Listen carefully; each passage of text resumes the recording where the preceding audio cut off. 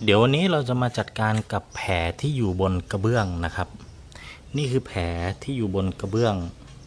เนื่องจากมีผู้รับเหมานะครับ หลายคนสอบถามมาว่า แผลบนกระเบื้องแบบนี้สามารถจัดการได้ไหม มีชุดขัดที่สามารถจัดการกับแผลบนกระเบื้องได้หรือเปล่านะครับ เดี๋ยวเรามาดูกันนะครับ แผลนี้ก่อนอื่นเลยนะ เดี๋ยวจะส่องไมโครสโคปให้ดูนะครับ นี่นะ นี้นะครับทุกคน นี่นะครับแผลนี่ นี่นะแผล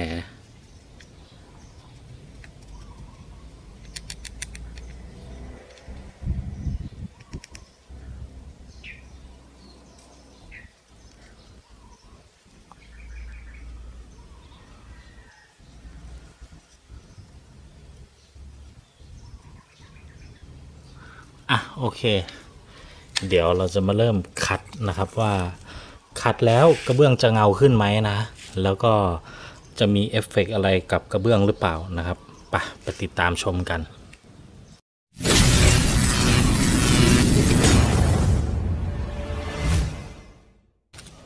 นี่นะครับบาดแผลมาเรามาเริ่มกัน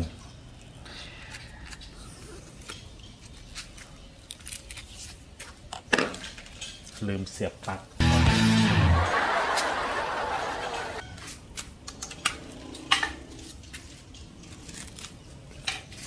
มา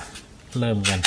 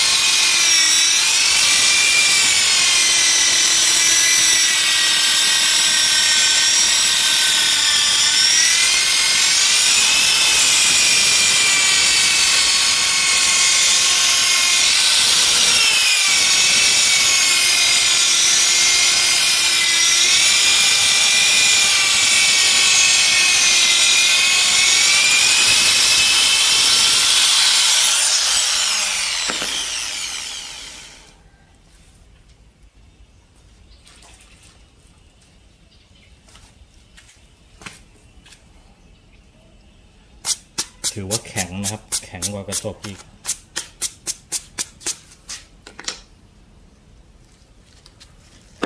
อะ เดี๋ยวให้ดูนะครับรอบแรกเป็นยังไง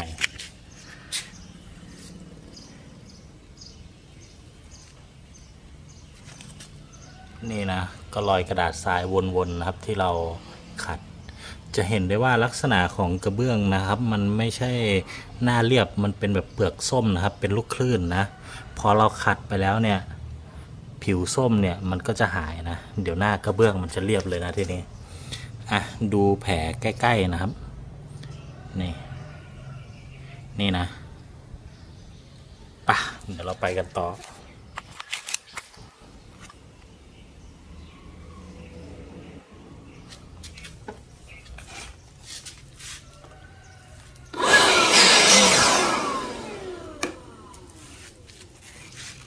รอบที่ใช้นะครับ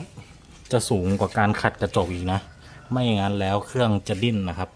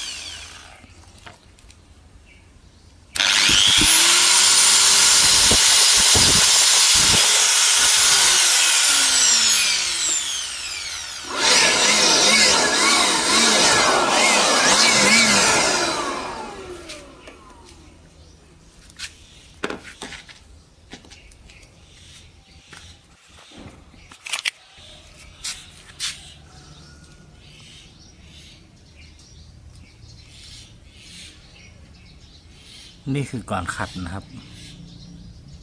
นี่คือหลังขัด ก็สำหรับรอยตรงนี้นะครับ หายไปแล้วเรียบร้อยอะเดี๋ยวขั้นตอนต่อไปนะครับ เราจะต้องขัดอีกทั้งหมด 4 เบอร์นะครับ4เบอร์ไปะเดี๋ยวไปดูกันต่อ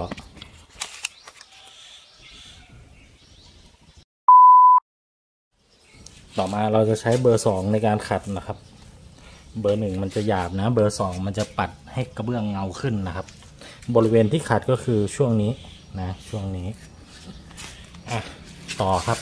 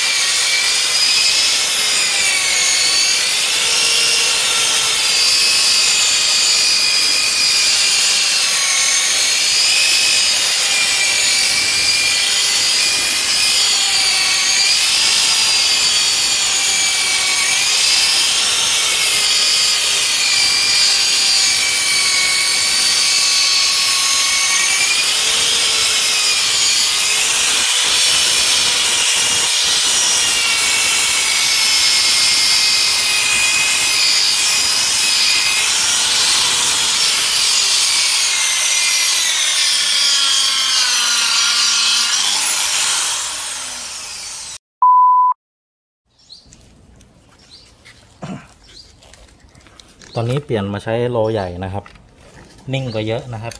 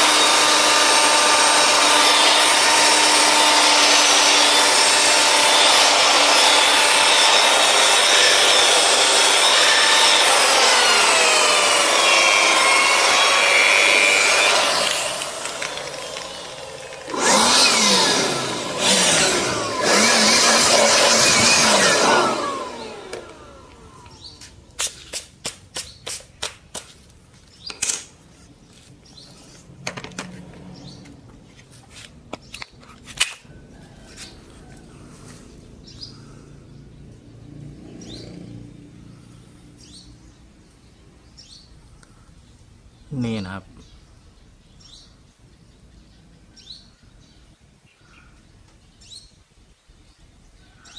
คมชัดมากขึ้นนะทุกคน อะ เดี๋ยวเราไปกันต่อครับ มาหลังจากที่เราปรับสภาพผิวเสร็จแล้วทั้งหมดนะครับ อะ ดูมิติก่อนขัดนะครับ นี่คือสภาพกระเบื้องก่อนขัด โดยประมาณก็จะเป็นประมาณนี้นะ พอเราไล่มานะครับ นี่ นี่คือหลังขัดนะทุกคน หลังขัด กับก่อนขัดดูเงาสะท้อนนะครับ อ่าเดี๋ยวจะโฟกัสที่เงาสะท้อนนะ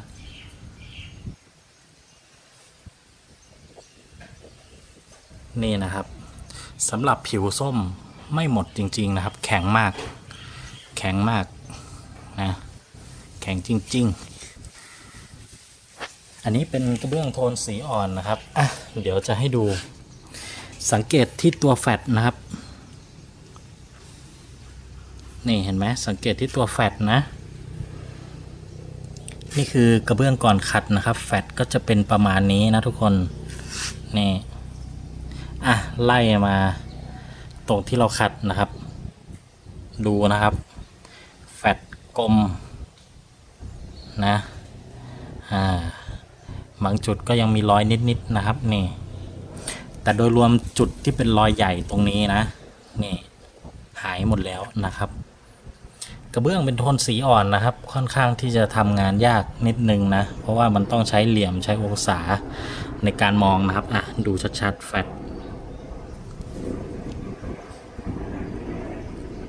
นี่คือก่อนขัดก็จะเห็นว่ามันก็จะมีพวกรอยขนมงขนแมวนะครับ ตามภาษาแหละนะ เราไล่มาจุดหลังขัดนะครับ นี่รอยขนแมวไม่มีเลยนะ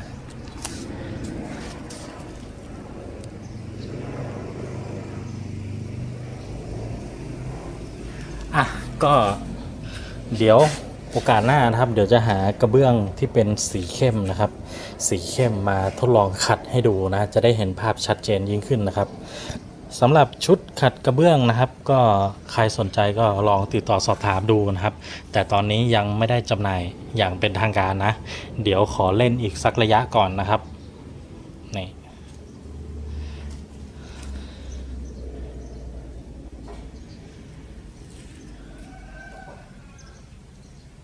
สวยงามครับ เงาแน่นอน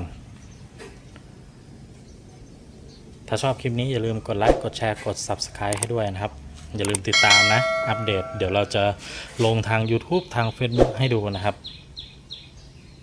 สนับสนุนโดย UCAR Watch Carousel H และศูนย์ Training Car Detailing สนใจฝึกอบรมหรือสั่งซื้อผลิตภัณฑ์น้ำยาเคลือบแก้ว เคลือบเซรามิกกราฟี10 H โทร0879553905 หรือ Line ID at UCAR Watch